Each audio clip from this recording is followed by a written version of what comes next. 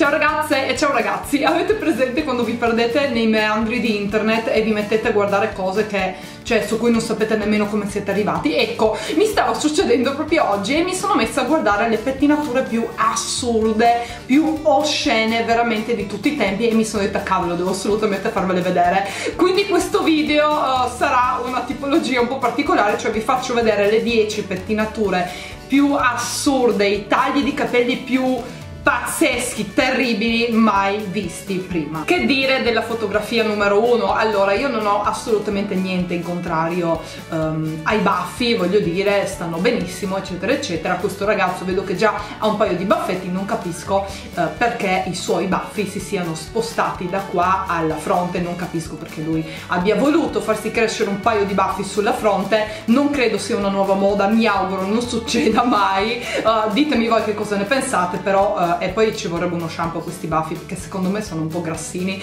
però um, appunto non uh, insomma la mia faccia dice tutto. Se la fotografia numero uno era assurda che cosa dire della numero due? Allora io direi che il parrucchiere è stato veramente molto molto bravo e molto dotato questo parrucchiere. Thumbs up pollice in su per questo parrucchiere perché si capisce perfettamente che si tratta di Kim Kardashian. A parte che sembra un po' strabica però si capisce benissimo che si tratta di Kim Kardashian. Quindi ha fatto anche un ottimo lavoro. Io non capisco che cosa sia saltato in mente a questo ragazzo per andare dal parrucchiere con una foto di Kim Kardashian e chiedergli ti prego fammi, eh, fai in modo che lei sia per sempre tatuata, non per sempre ma insomma avete capito, stampata sulla testa, non capisco come lui sia felice di andare in giro con la sua faccia appiccicata ai capelli, certo si può essere un fan eccetera ma mi sembra un pochino esagerato cosa dire della numero 3? Allora io qui sono veramente in dubbio, non so se questo sia, se questo sia il taglio di capelli e barba e baffi perché è tutta un'unica roba collegata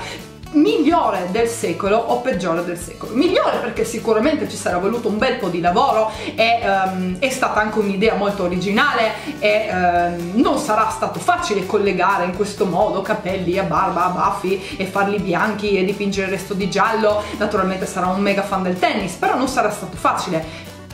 c'è da dire però che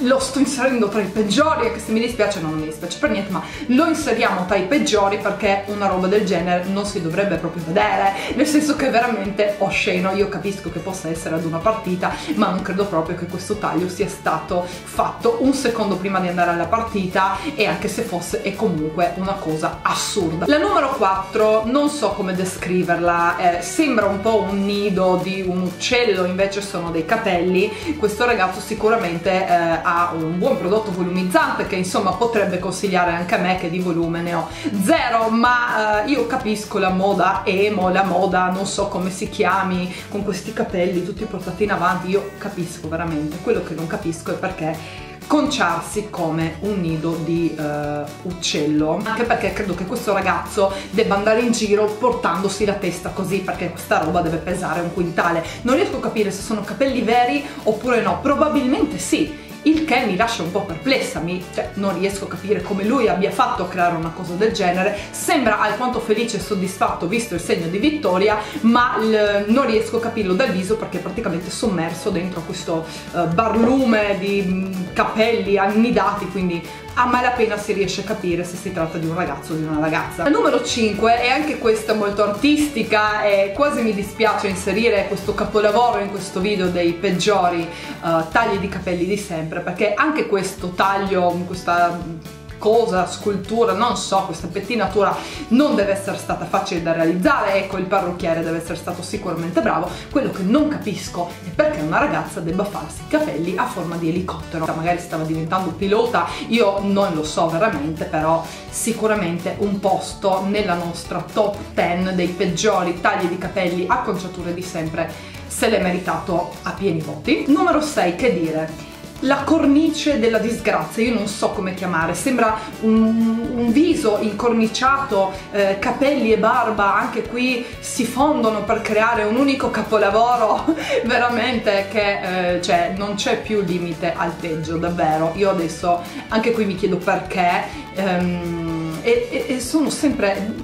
sono sempre, anche i visi, sono sempre un po' spaesati, cioè è come se nemmeno lui capisse perché si è fatto questa pettinatura, però se l'è fatta e, e si merita assolutamente un posto nella nostra top 10 numero 7 e lui sembra molto divertito da questa sua pettinatura, deve essere stata una sua idea, una di quelle notti in cui bevi un po' troppa vodka e poi dici sì domani mi faccio sta pettinatura, per il 99% delle persone il giorno dopo naturalmente cioè cambia idea, per il 99% delle persone questa era solo un'idea da uh, una notte da ubriachi, invece per lui no, lui ha pensato che fosse un'ottima idea ed è andato assolutamente a farsi i capelli a forma di berretto da baseball, insomma un cappellino e um, sembra anche molto molto soddisfatto di questa sua scelta voglio dire e speriamo non diventi una moda perché altrimenti insomma vedersi queste pettinature in giro eh, è davvero osceno se non, se non che eh, almeno protegge il viso dal sole. La numero 8 è forse la peggiore di tutte, adesso ditemi voi nei commenti secondo voi qual è la peggiore, io ve le metto in un ordine non definito, ma questa può essere veramente la peggiore di tutte. Allora, già il fatto di... Um, raparsi a zero e farsi un topo, una pantegana sul retro dei capelli è veramente di cattivo gusto. Ma la coda, ragazzi, la coda, cioè perché questa coda è